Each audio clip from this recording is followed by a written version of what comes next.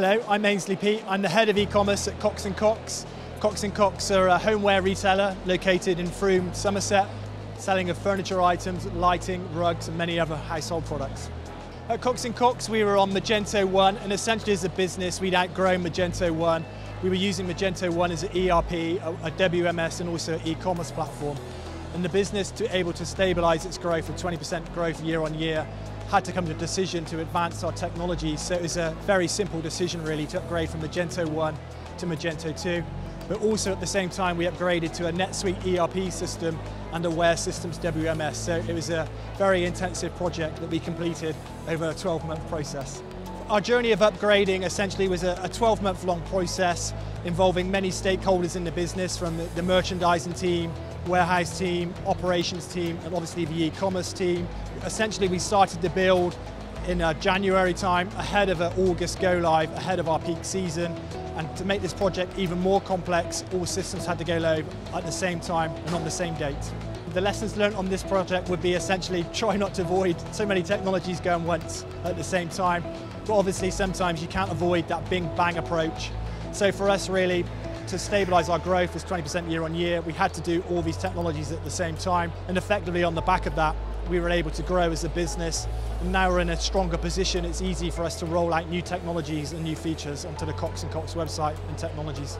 Post upgrade, we're seeing excellent results in terms of online revenue. We're growing 20, 20% on the first year, and on the second year, we're actually achieving a 30% year on year growth. Um, average sessions in terms of the number of visitors is increasing 50, 60, 70% at times. So we're seeing a lot of uplift in terms of customers and customers sticking around on the Cox & Cox website and placing their orders.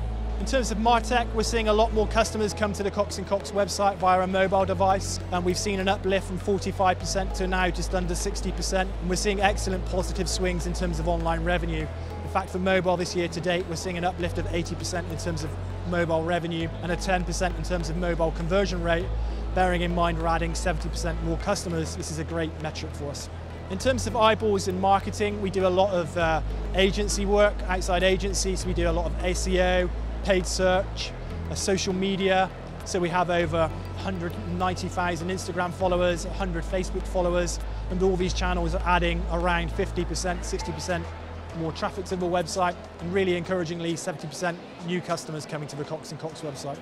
We're seeing an uplift of 20%, 30% in terms of revenue, and we are seeing a good kind of bounce rate reduction, so customers are sticking around to the Cox & Cox website, so long may this trend continue. In terms of uh, some of the metrics overlooked today, bounce rate, we find a lot of uh, agencies are keen to promote all the uh, visitors they attract to your website, but then we need the customers to stick around, not exit on their first page. So I think it's a metric that we're always on top of really. If we're investing in SEO or paid search, are the customers actually viewing the products and more importantly, are they converting? For Cox & Cox, returns is always a challenge. Uh, we're currently around 8 9% in terms of returns. Obviously, it's something we always like to try to keep on top of. We use Trustpilot as a review platform, and we're always looking to hear what our customers have to say about our products.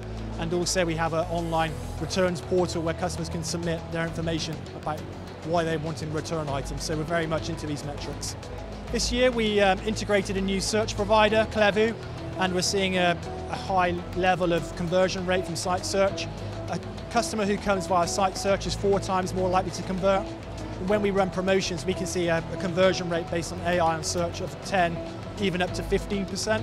So AI is very much part of our site search. We also do a lot of personalization with Nosto, so we're investing in terms of on-site recommendations at product pages, product listing pages, also in the cart.